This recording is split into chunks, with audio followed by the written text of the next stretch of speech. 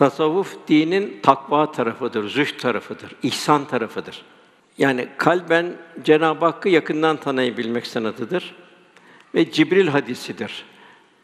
Cibril'in üçüncü sorusu şuydu: İhsan nedir dedi.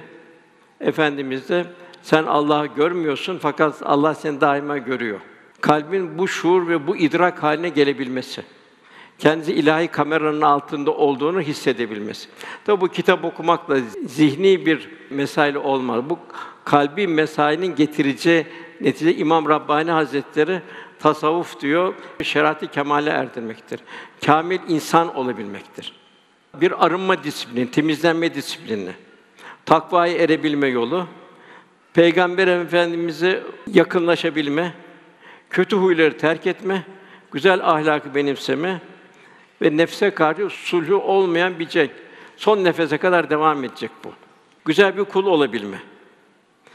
Resulullah Efendimiz aşk ile yakından tanıyabilme, onun yüce karakter, şahsiyet ve ahlakından bir nasip alabilme, dini özüne ve ruhuna uygun bir tarzda vecd içinde yaşayabilme gayretidir.